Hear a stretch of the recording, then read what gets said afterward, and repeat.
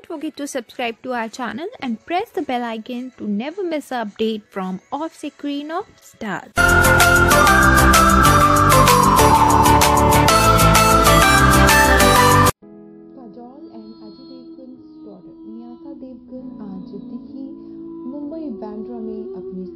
Session के लिए well इस बात के लिए उन्हें यूज़र्स ने काफ़ी ब्लैक लाइट भी दी क्योंकि उनके दादाजी यानी कि वीरू देवगन की कल ही डेथ हुई है have a look on some exclusive moments of Mehta Kirtan.